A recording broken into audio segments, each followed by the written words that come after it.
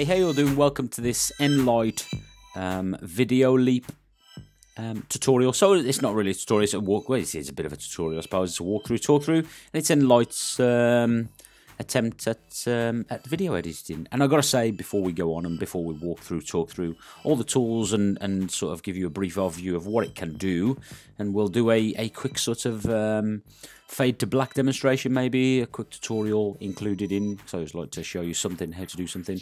It is really good. So if you use iMovie on the iPhone or iPad or anything like, it's a really really good alternative. Although there is a paid um, a subscription fee, and I think it's something like one pound per month or something like that if if you if it's in in, in UK um, dollars I'm not too sure maybe one one point five dollars whatever you know it's, it's sort of um, over the year it doesn't um, it doesn't add up to too much. Or you can you do have the option to buy it outright and I think in UK it's about 38 99 about 40 pound 39 pound um, I suppose that's about fifty dollars in UK. Is it worth it? Um, it depends on how much video editing you do with your iOS device. For it is um, it is powerful, it's really good, and, and you can do lots of things with it. It's just a specific way of doing things. So let's get on and um, and show you how to use it anyway, and show you what we've got on the screen, and um, and and, and all that good stuff. So as you can see on my screen, I've got the little click, um, little plus button in the center. So that is going to be where my video will be. Top left hand side, we've just got the um, Enlight Video Leap logo, and if you've already a paid subscriber, it will just tell you you're already a paid subscriber of this. And then we've got to um, here on the right hand side, shall I say, we've got the help function. So if we click it, it just gives you, tells you, gives you some um, tutorials, which is quite cool. And you've got the contact us button at the bottom. Um, and then Enlight, I think they, they try their best with their customer um, service, their support. and then just on the right hand side again, we've got the um, export media um, once you've once you've completed your, um, your, your, your film or your video. So on the left, go back to the left again. We've got the little play button. So this is um, this will let me let me talk about that in a minute. I'm just going to show you how to import a film and stuff like that. So we've got the plus button in the center, and this basically does the same as the play at the top left hand side. So we click the plus button, and then you can on your all your photos, all your videos on your left hand side, or you can look at the stock ones. And the stock ones you can see along the top. We've got some green screens now. Um, for those that don't know what you can do, I'll maybe do a few tutorials with them at a later stage. But green screen it just allows you to put any background um, on the image that you see in front of you. So you see a kitten, a puppy, the moon, and some clouds. You can put any background image behind those. You can just blend it in. It it will um, it will blend in. There's a specific way of doing it. I'll show you another time.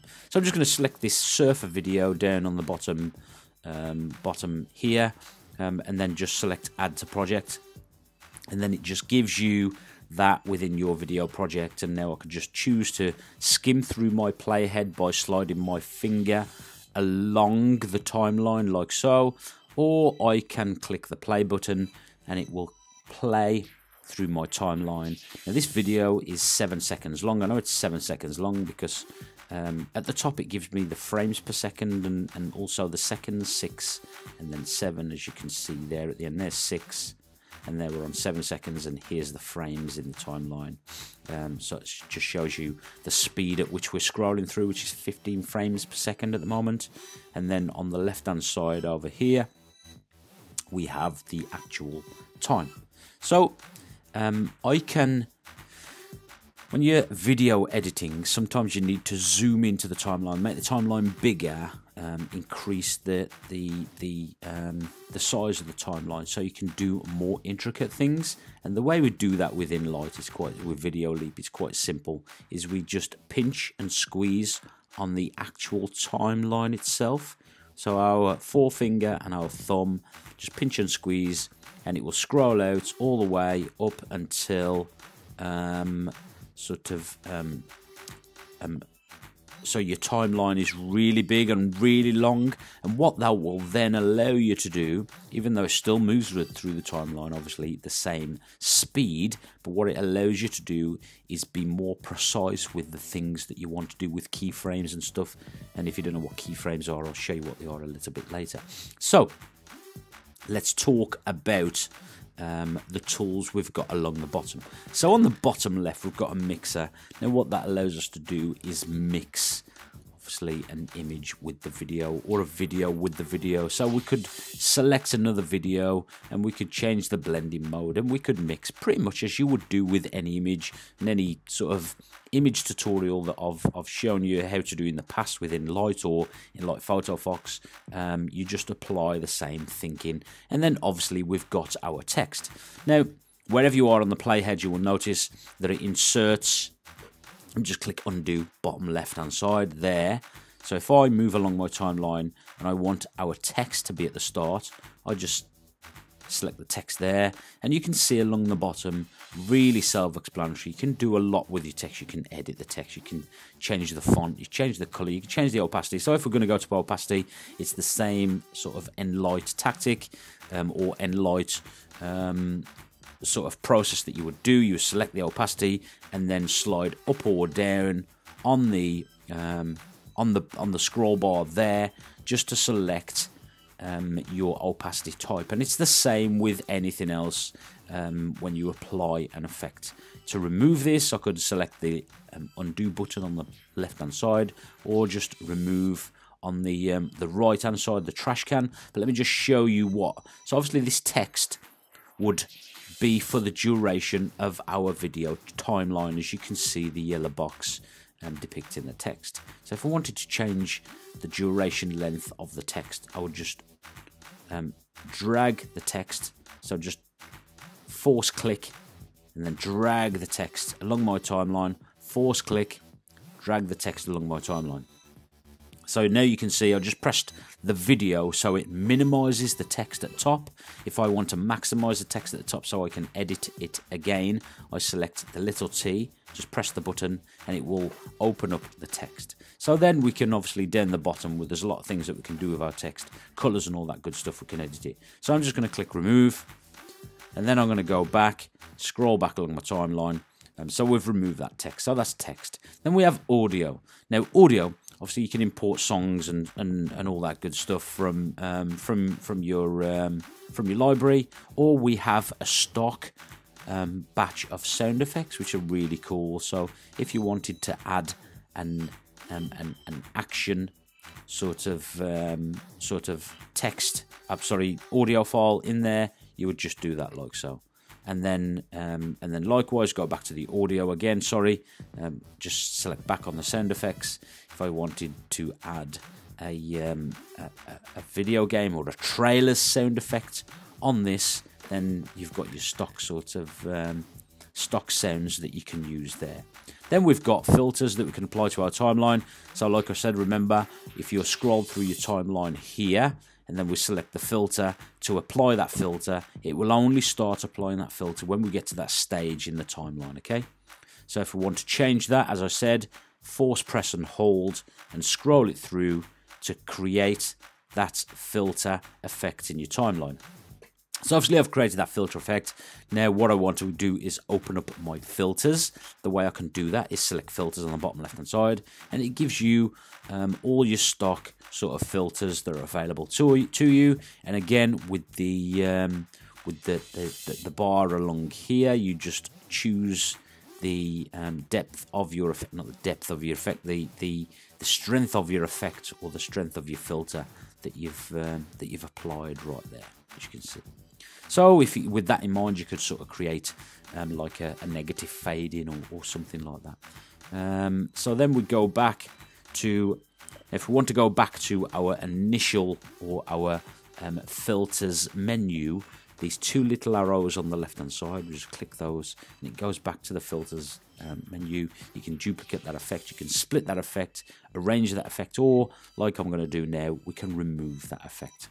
And then we've got the adjust so the adjust, obviously, select the adjust and it will um, it will start from wherever we are. Our playhead is in our timeline. So let me just remove that and show you again. If I move along our timeline here and I select um, adjust there, the adjust um, option will be where my playhead is. Okay, so I'm going to go back to the start. I'm going to come back to adjust, so don't worry about adjust just for now because that's what I'm going to do the tutorial on. And then we have effects. So on the effects, we can defocus. Obviously, you have the blur, and then we have more tools open to us, so we could shape that and have all of the screen blurred. Um, make it 100%, add a few keyframes, and then we could sort of um, fade in from blur and all that sort of good stuff. And I can do more tutorials on this. So I'm going to click back on my timeline for now, and then click remove that. Um, and that's one of the effects. Go back to the other effects. Prism is nice for a good 3D effect. Colorify, and then you just color, and then film grain obviously adds the film grain. But like I said, um, I will do more tutorials on this as we go through. And then we have glitch, so you can create like a glitch effect like this etch like so. It just creates an etch and then it opens up more menu bars. So it can change the density by scrolling up or down change the angle by scrolling up or down. So you imagine with keyframes if you don't know what keyframes are I'll talk about them a little bit more um, later on. If you're not familiar with video editing um, I'll show you what a keyframe is shortly. But with the with the angle you could create quite a nice um, effect with some of these tools um, on, on video. So I'm just going to click remove and remove that again. And then we have the tone lab. Now the tone lab, it just gives us different color tones um, that we can apply to that video. Going to click remove again. And then we have format and we can just change the, the format of the video. I'm just going to click back. So what I want to show you to do on this tutorial, and that is, um, in a nutshell, that is Enlight.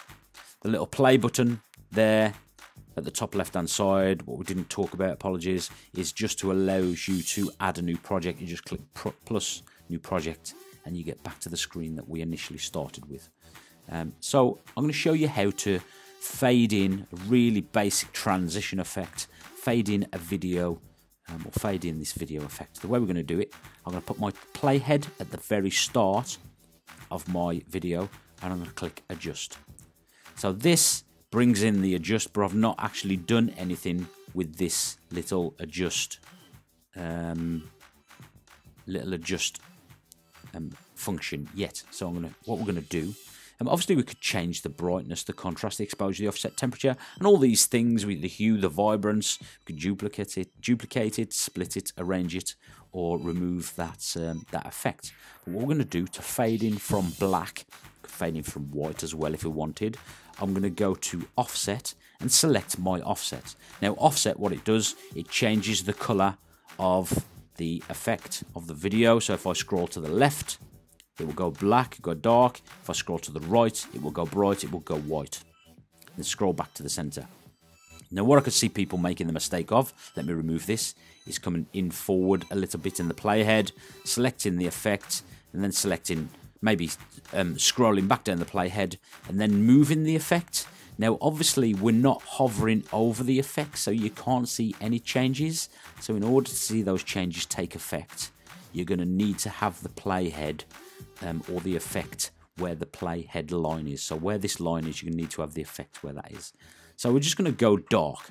Now, we're going to go to keyframe. In the bottom right hand corner, there's something called keyframe. Now, keyframe, all it allows you to do in any video editing is allows you to key to take a picture or keep that frame. Remember these frames on the um, on the timeline for a duration until you tell it to come out the way. So I'm just going to collect. So the, the, screen we've got at the moment, because of the offset, is dark. Okay, so I'm going to select keyframe.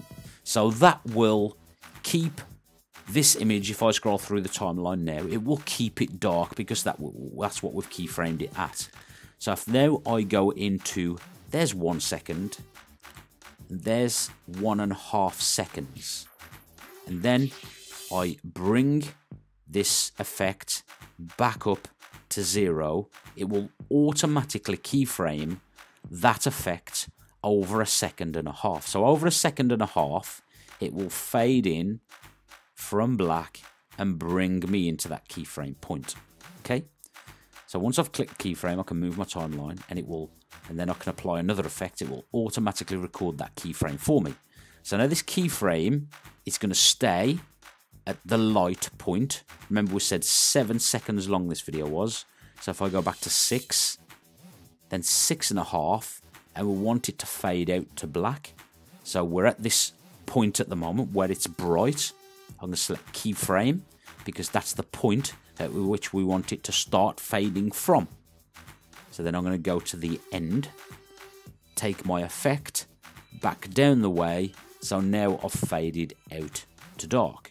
So remember at the start when we zoomed in to this timeline, I'm going to zoom back out of this timeline by pinching and squeezing and we can see pretty much all of the 7 seconds in the timeline.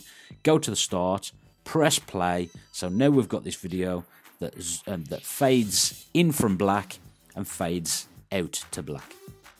Really, really simple effect.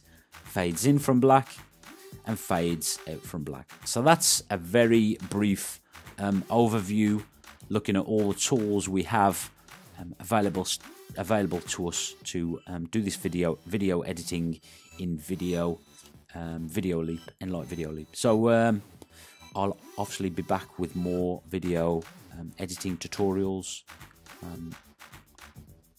I have done quite a lot of video editing tutorials with um, FCPX and iMovie on my channel anyway, but um, but we'll we'll we'll try and get some um, good effects in so you can do to your sort of home videos, videos shot with your iOS devices with your phones, um, in Enlight Video Leap. So um, if you have any questions, drop them below. If you have any um, requests, again, drop them below. Thanks a lot for watching. I'll catch you all soon. Remember, I would um, I would then save that out. I would click the, the top right-hand button just before I go. Click the top right-hand button, save to camera roll, or change my resolution so I can make it 1080p or 720p.